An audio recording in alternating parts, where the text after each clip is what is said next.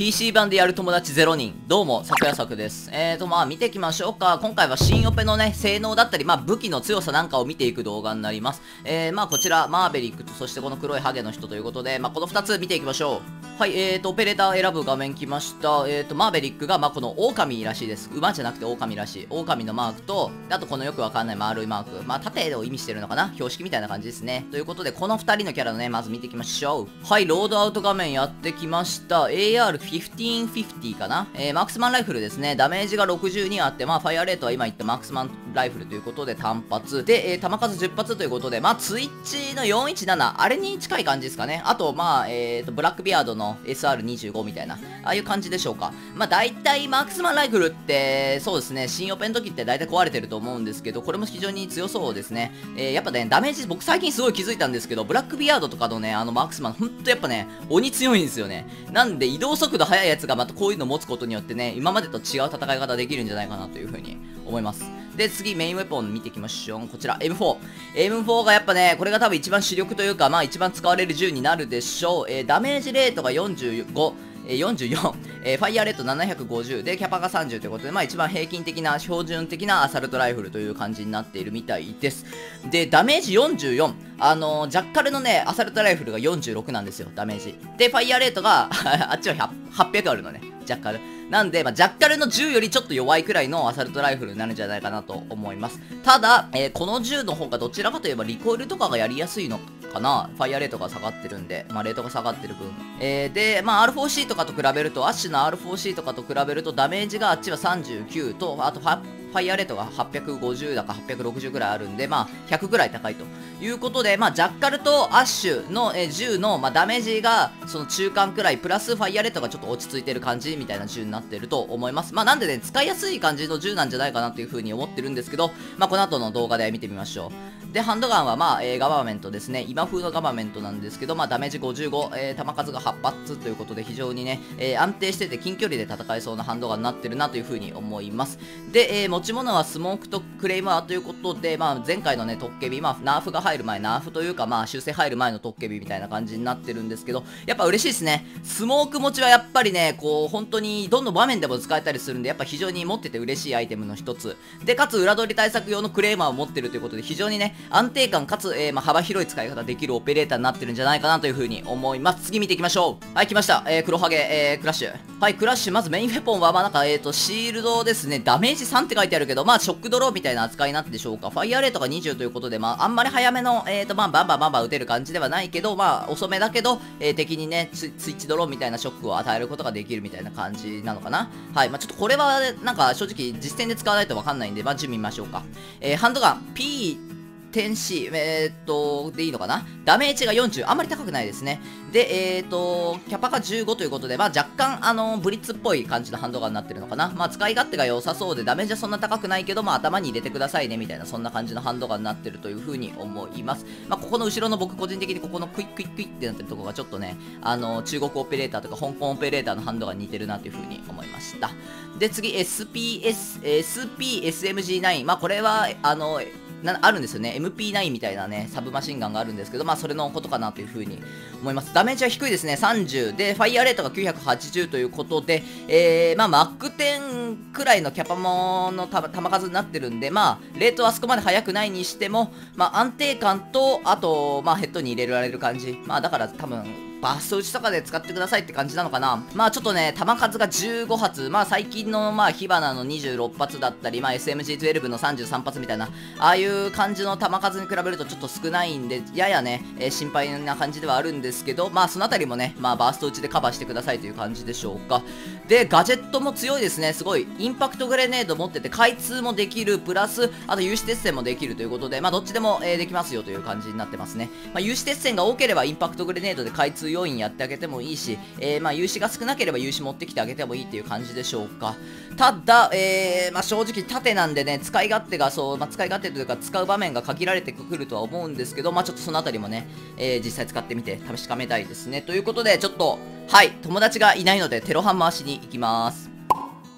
よし、テロハンやってきました。えー、ただでさえガバエイムの僕がね、バウンス使うことによってさらにガバエイムになる瞬間をね、見ててください。で、ちょっとマウス感度下げました。あの、すいません。ちょっと前すごいね、画面振りまくって、なんか、あの、慣れないもんで 酔っちゃった人が多かったみたいなんですけど、申し訳ございませんでした。直したので、今回大丈夫だと思います。はい、じゃあ、まずちょっと銃ってみましょうか。あー、はい。あの、すごいですね。安定感。ただ僕がマウスのリコイルがちょっとわかんないんで、上がっちゃってますけど、でも、使いやすい感じです。全然ね、あの、ブレる感じはしない。変なブレな感じはしないんで、多分このまま敵もね、倒していけるんじゃないかなと思います。やべえ。うあー、いい、いい。使いやすい。ブレない、ブレない。あー、いいね。マジむずい。オッケー。で、ガジェットなんだけど、そうそうそう。言い忘れてたわ、ガジェット。ちょっと待ってね。もうガジェットはさ、みんなやってるから正直やんなくていいかなと思ったんだけど、あのー、こういう風に焼けるんですよ。で、これ、どういうものかっていうと、おそらく、わかんないですけど、まだ、あの、投量のもんじゃなくて、微妙に、例えばね、1個穴を開けといて、自分だけと気づかないんで、こういう隙間で見とく。だから、あの、よくね、防衛の人がやるじゃないですか。こうやって殴っといて、あ、どこの穴が何個か開いてるけど、覗いてるんだろうなっていう、あるじゃないですか。これの攻め版。これなんですよ。なんで、例えばこの状態の時に、ここが本命ね。ここを本命にするとして、あとは上の方をこういう風に、ちょっとこういう風にやっとくと。穴開けとくと。そうすると敵の注意ってここの穴開いてるとこに行くんで、そうしたら自分はこうやって伏せて、こういうところからいやらしく見る。こういう使い方だと思うんですよね。なんで、まあ、この穴開けってよりかは、自分の車線を通して敵に、まあ、どのとこから覗いてるかが気づかせないみたいな、そういう感じのやつじゃないかなというふうに思いました。なんでこいつサプレッサーつけてるんですよね？あの、敵にどこにいるか気づかせないみたいな、そういう感じのキャラクターだと思うんですよ。まあ、強いと思います。あ、強い。うん、これ強いっすわ。あのー、もう、なんか、マウスが下手な僕でさえ、あの、使いやすいなっていう風に思えるってことは、これ多分、普段 PS4 やってる人だったら PS4 でやった時にもう、うわ、超強えじゃんってなるくらいの安定感。で、足も速いんで、もうなんかストレスなく使えますね。よし、じゃあ次ちょっと、えー、クラッシュ見ましょう。よし、テロハン。来ましたよ、テロハン。えーと、まあ、クラッシュ使うんですけど、まず撃ってみようか。ちょっと敵来ちゃうんで。あ？あーそういうこと？俺今気がついた。なんかね、うわちょ、あった この銃さ、あの、フルオートで撃てると思ったらこれバーストなんだ。バーストで撃たなきゃいけない、撃たなきゃいけないとは思ってたけど、もう、もともとバースト銃なのね、これ。ほら。3発？何発ずつ撃ってる ?2 発 ?2 発 ?2 点バーストみたいな。すげえ変な銃だな、これ。で、縦は、あー、これで右下のチャージが減ってくって感じか。この時は、格闘とかはない。こういう感じだよ。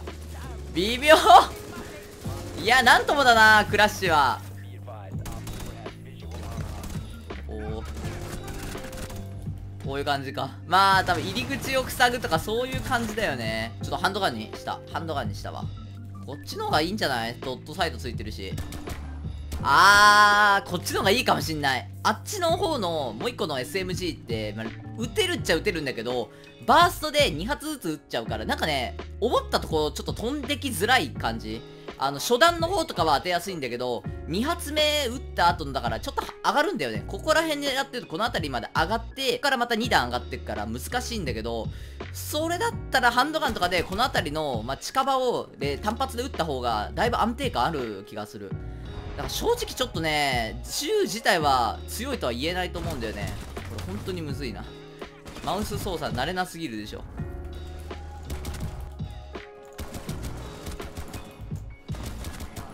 おお、ここやべえだろ。やべえでしょ。うん。おい、これ。で、これが盾なんですよ。こいつ。ここれどうすか？超シュールじゃない？これ まあ、だから、展開シールドだから、こういう風に敵をね、こういう風に留めとくみたいな感じかな。まあ、なんとなく分かりました。まとめ入ろうか。